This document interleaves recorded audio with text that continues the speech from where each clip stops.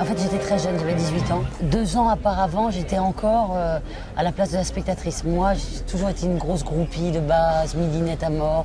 Donc moi, de 6 à 18 ans, chaque soir de César, je mettais mon petit plateau, j'avais mon papier pour faire des pronostics. J'ai pleuré quand Charlotte Gainsbourg a eu son, César. J'étais inconsolable pendant des mois tellement je l'aimais. Enfin, très groupie, très fan. Deux ans avant, j'étais encore je vote pour euh, machin. Hein.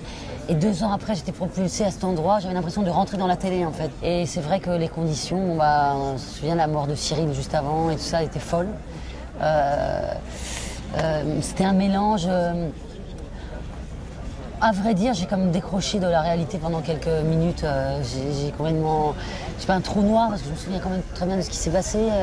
J'étais portée par un truc. J'avais envie, envie de dire quand même mon bonheur parce que c'était pas rien, de dire à mes parents, tout ça, puisque c'est ce truc-là que, j'ai vu plein d'autres gens.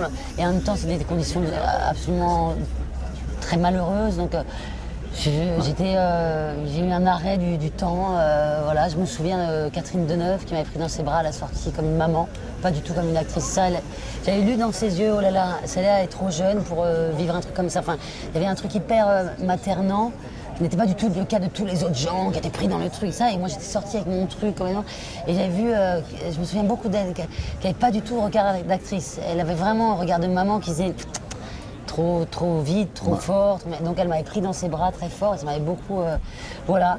Mais étonnamment, malgré la souffrance des jours précédents, des jours suivants, j'en garde évidemment un souvenir très heureux.